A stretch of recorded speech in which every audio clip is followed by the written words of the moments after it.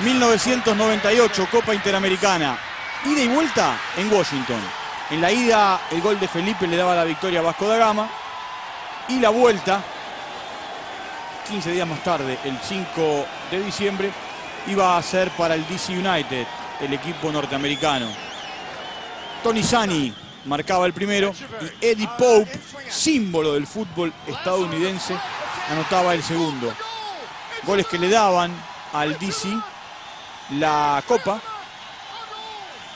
Ahí está Diablo Echeverry en 1998. Por diferencia de goles, 2 a 1 en el global. El DC United se quedaba con, con la Copa, con la Copa Interamericana. Una Copa que hoy ya no se juega, pero que en aquellos momentos tenían mucha trascendencia. Ahí está Diablo Echeverry.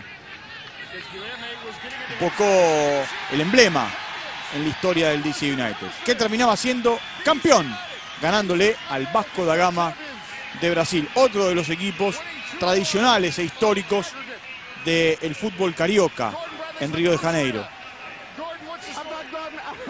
Todas las entrevistas para Echeverry, el mejor jugador de la historia del fútbol boliviano, la copa, los festejos y la consagración para el DC United en la Interamericana del 98.